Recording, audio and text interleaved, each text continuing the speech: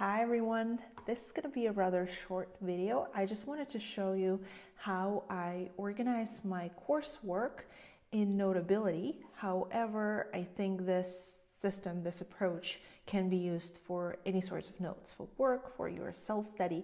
I filmed a shorter version of this video for my classmates the other day and some of them commented on how useful they found it because I kind of took me one term to come up with this system and once I did I was like oh this is so much better than the thing I used to do before where all my documents were all over the place. So the guiding principle for me is I wanted to organize my notes in a way that after I'm, I'm done with the class I actually can go back to those notes and uh, make use of them in my work. But also, of course, like having it organized like this makes it so easy and much less stressful to follow the material throughout the semester. So here's what I do. Oh, and maybe just one thing before we start. Uh, GoodNotes versus Notability, why I use the one or the other, often get asked that. I choose Notability for my class notes just because I'm able to record the lectures or the meetings. And um, also, it's not only that it records, it maps my handwriting to the audio. So if I wanted, say, to hear what the professor was saying as I was writing this, I would just need to tap here and it would start playing from that very moment. So that's very convenient if you want to go back to your notes. So let's talk about the organization. I have a divider here. I actually think that the name divider is confusing. I would call this a folder because here it is, this folder, which I named after my school. And then within this folder, I have subjects, which are my individual courses. So I think a divider is something that would be within my subject, but they call it divider. So I have a divider here and then I have all of my courses, one subject per course. The naming convention that I use here is the code of the course followed by its full name. So every one of my subjects has three, at least three, foundational documents the syllabus, the class slides, and the notes. Sometimes I have section notes and some other documents that are foundational, but that's specific to a subject. These are the three that you can see in every one of my classes syllabus, slides, notes. You'll probably notice that I name them starting with a zero dot and then I put one dot for syllabus, two dot whoops, two dot for class slides and three dot for notes. The reason I'm doing that is because Notability has sorting and they sort by name so we can use those numbers to sort our files.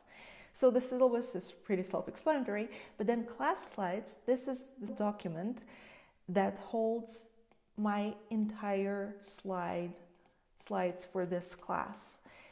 Notability allows you to append pages to an existing document. So, for instance, in week two, I would import the slides from that week, and instead of creating a new document, I would just append them to an existing document. And so, by the end of the semester, by the end of the school year, all of my class slides are in this document. Same goes for notes, except that I don't import them every week. I just continue writing in that same document throughout the semester. So all of my notes are in one place. When I was first trying this system, it was in the midst of this class. I remember having a separate subject for every sort of this is these are my notes for this class and these are my readings for this class. And then within notes I had separate files for each class. I think that fragmenting it like this makes it very hard to use this because eventually you will want to read through, skim through your notes very quickly and just opening one and opening the other. Oh, that didn't work for me at all. So I find it to be much more user friendly when I can just quickly look through my notes. And by the way, let's see if I did a good job of this here. Yeah, I normally, whenever I don't forget, I mark every week with a bookmark and so I can quickly jump from one week to another this way without having separate notes. The files that follow here with the 1, 2, 3, all the way to 13, are the weekly readings that we were assigned to do. So I import every single reading into my iPad, and the reading, readings for week number one are numbered one dot title of that article that we're supposed to read. Week readings for week number two are titled two dot title for this article that we're supposed to read, and so on.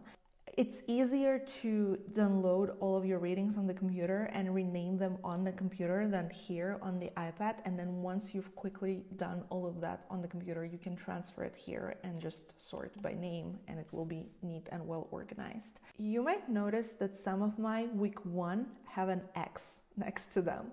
An X is my way of telling me that these readings were optional. I do want them here because the reason I'm taking this course is hopefully to be able to use it in my work later on. And so I might not be able to do the optional reading during the semester just because there's so many things to read. But I will certainly go back to it later on during my work and I have it here. So I know most likely the X's I haven't read them, but also they're they're here. I like it's it's easy to locate them.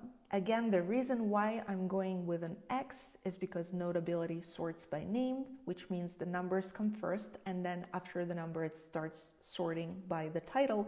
And X is one of the last letters of the alphabet, meaning that the optional readings, they will always come at the bottom. I don't know why I didn't use a Z and I used an X maybe there would be an article that starts with an X. Probably a better idea is to pick a Z. Now, there's another strategy that unfortunately I discovered way too late into my studies and I wasn't able to apply it. Let me see, I've done it in a class that I taught later on, which is this class. I've done it a little bit.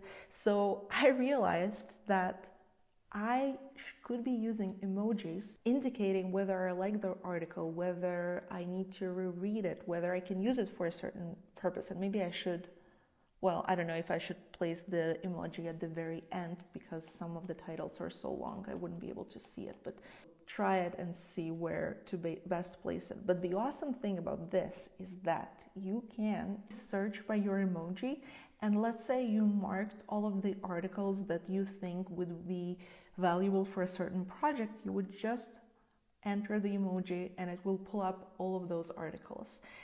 I used to write some notes at the beginning of the reading, not here, but I would like leave some notes to myself, like, oh my god, I love this article, it would be useful. However, it's harder to locate when you have hundreds upon hundreds of these readings. So, yeah, this is pretty much how I organize my notes. Um, I think it's pretty straightforward, but since no one taught me this, it took me trial and error of things like this to eventually come up with a system that really works for me. So yeah, try it out if you want to or let me know what kind of organizational system you use in your Notability given how the built-in organization is quite bare here. But I think we can do a lot with it. We just need to be very intentional about what kind of process we follow for organizing our notes.